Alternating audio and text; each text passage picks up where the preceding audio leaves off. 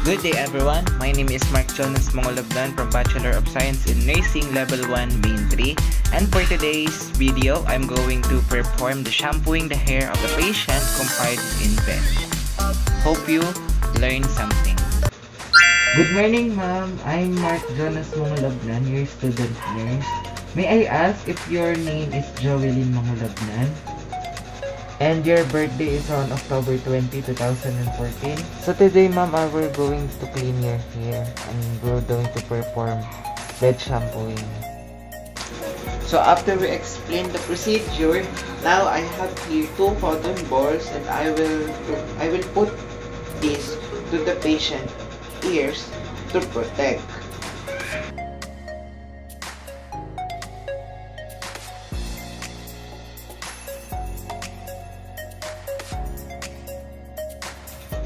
After we put the cotton ball to the patient ear, now we're going to inspect if our patient has open wounds on her hair, on her head.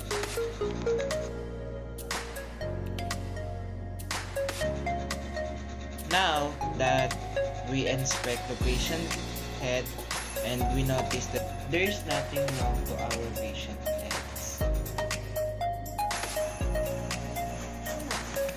So, after we bring our patient heads close to the edge of the bed, we placing her diagonal across. So, we need to do is to place place the pillow under the client's shoulder and we need to protect it with rubber sheet or any plastic that can cover the pillow. And also we need to put another towel to add some cover.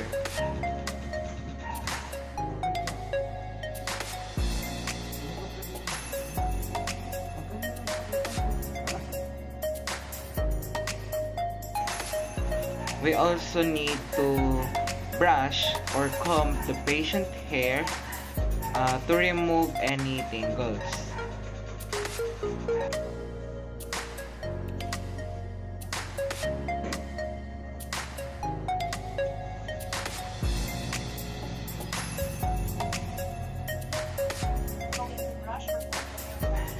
After we pull the top sheet down to the middle and replace with a blanket. So we need to cover the chest. We need to cover the chest of our patient with a bath towel. We also need to protect our patient's eye. So that's why we need to cover it with the use of face towel. And we can also ask our patient to hold it. Make sure that when you prepare a water, make sure that this water is warm.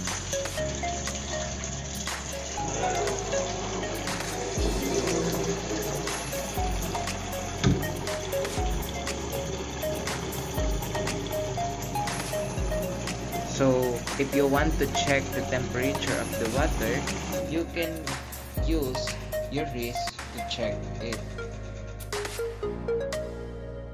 And the next step we need to do, we need to moisten the hair thoroughly with warm water. So after we thoroughly wet the hair of our patient, we will massage it until the whole hair be wet.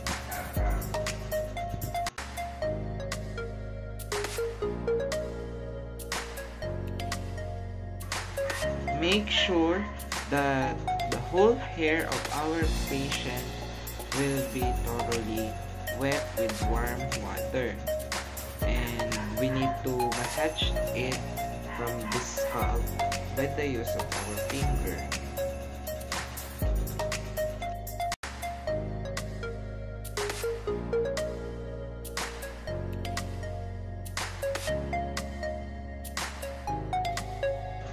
Now, you can also mix the shampoo to the water. And now, we need to apply the shampoo to the scalp and hair of our patient and we need to massage it by the use of our finger.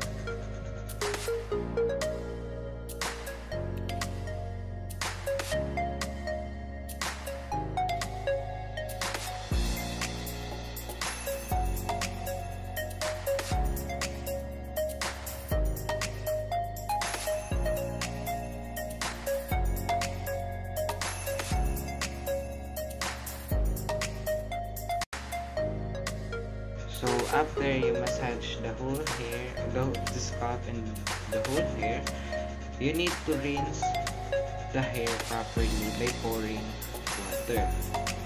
So we need to repeat the process until the hair is clean.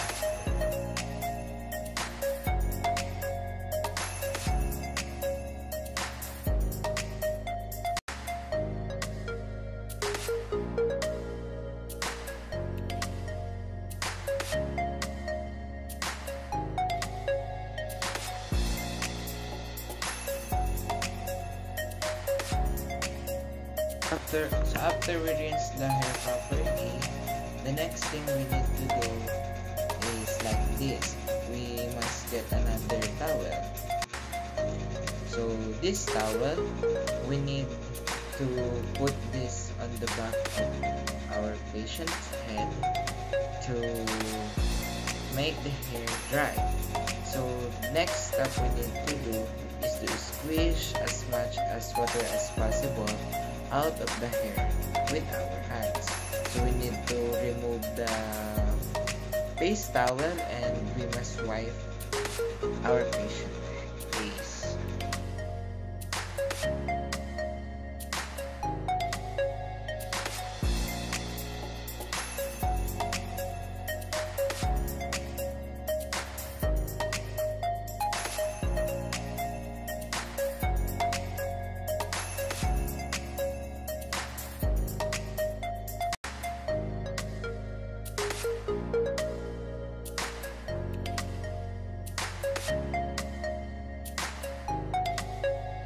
So after we squeeze all the water from our patient hair as much as possible until our patient hair is dry, the next thing we need to do is to brush or comb their hair.